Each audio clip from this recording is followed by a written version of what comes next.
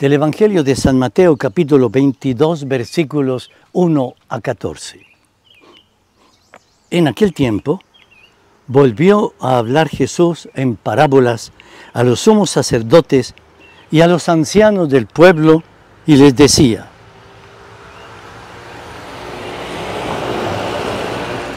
El reino de los cielos se parece a un rey que celebraba la boda de su hijo. Mandó a sus criados para que llamaran a los convidados, pero no quisieron ir. Volvió a andar otros criados encargándoles que dijeran a los convidados, tengo preparado el banquete, he matado terneros y reses cebadas, todo está a punto, vengan a la boda. Pero ellos no hicieron caso. Uno se marchó a sus tierras, otro a sus negocios. Los demás agarraron a los criados, los maltrataron y los mataron. El rey montó en cólera, envió sus tropas que acabaron con aquellos asesinos y prendieron fuego a la ciudad. Luego dijo a sus criados, la boda está preparada pero los convidados no se la merecían. Vayan ahora a los cruces de los caminos y a todos los que encuentren, llámenlos a la boda. Los criados salieron a los caminos y reunieron a todos los que encontraron malos y buenos. La sala del banquete se llenó de comensales. Cuando el rey entró a saludar a los comensales, reparó en uno que no llevaba traje de fiesta y le dijo, amigo, ¿cómo has entrado aquí sin el vestido de boda? El otro no abrió la boca. El rey dijo a los servidores, átenlo de pies y manos, arrójenlo fuera a las tinieblas, allí será el rancho y el rechinar de dientes, porque muchos son los llamados, pero pocos los elegidos palabra del Señor. Gloria a ti, Señor Jesús. Comparación bellísima.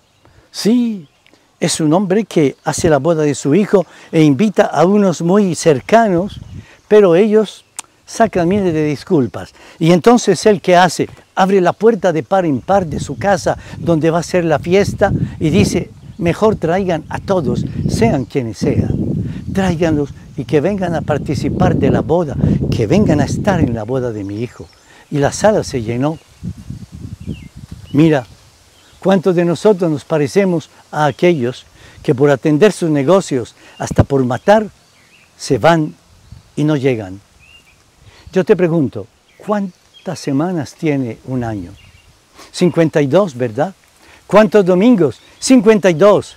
Pero yo te pregunto, 52 domingos, cuando el Padre abre de par en par las puertas de, su de sus templos y nos dice, vengan a la boda con mi hijo, vengan a estar unidos con mi hijo, vengan que mi hijo les tiene una fiesta.